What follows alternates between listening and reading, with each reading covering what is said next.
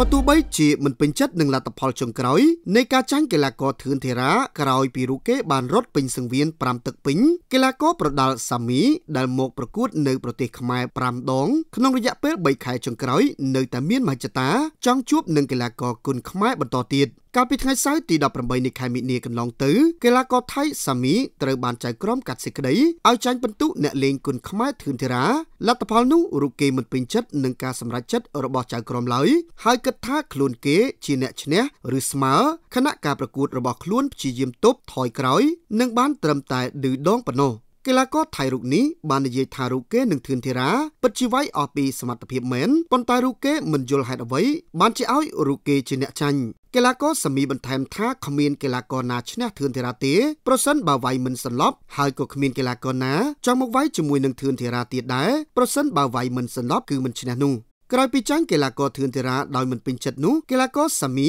បានប្រាប់ថារូគេសម្លឹងឃើញដៃគូពីរនាក់ទៀតដែលចង់ប្រកួតបន្ទាប់ជើងខ្លាំងពីរនាក់ដែលរូគេចង់ជួបនោះគឺកីឡាករឡើងជើងឈើងល្វី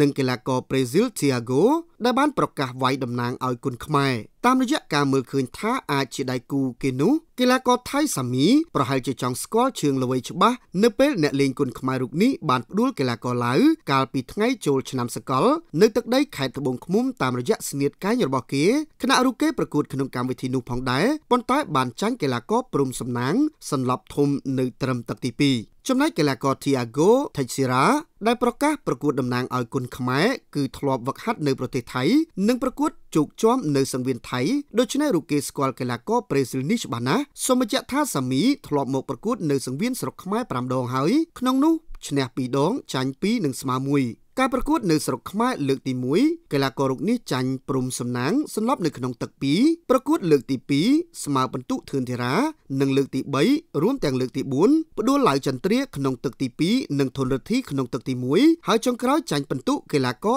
ធឿនធីរ៉ាវិញ